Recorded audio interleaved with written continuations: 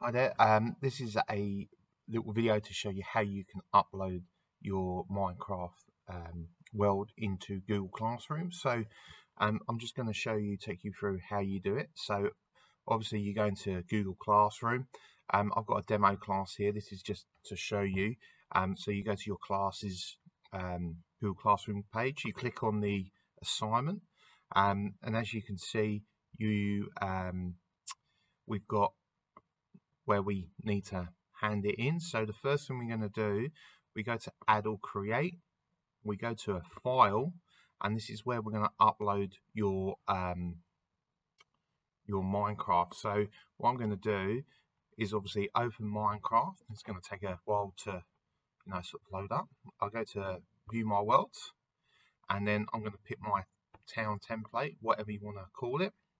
You go to settings, and then what you're going to do, you're going to scroll all the way down to export world.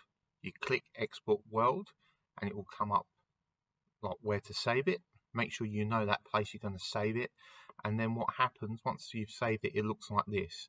That's important because you then are then going to copy and move it into here. So how we do that, we just drag it over.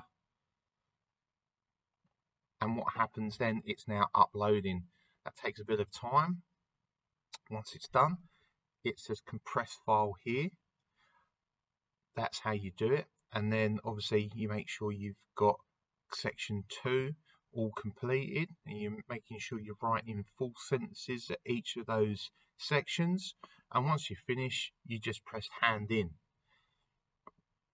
That's how you do it. So basically, it's pretty straightforward and, and easy. If there is a problem, so say you've accidentally um, put the wrong template, you can just go to unsubmit and then you can delete it and then resubmit another one. Make sure that's done before the hand-in date. Okay, I hope that helps. And um, if you've got any more questions, make sure you come and ask your teacher. All right, thanks, guys.